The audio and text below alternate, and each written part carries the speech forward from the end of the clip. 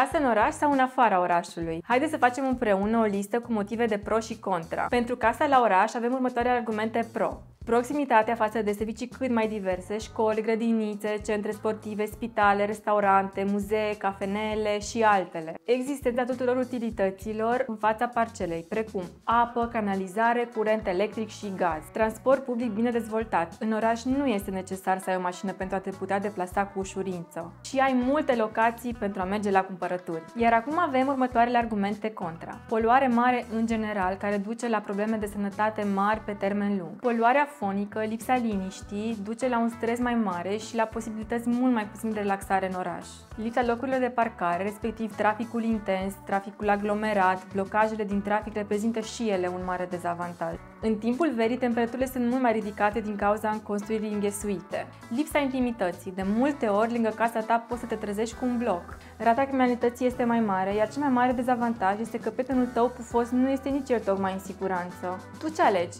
O casă în oraș sau în afara orașului?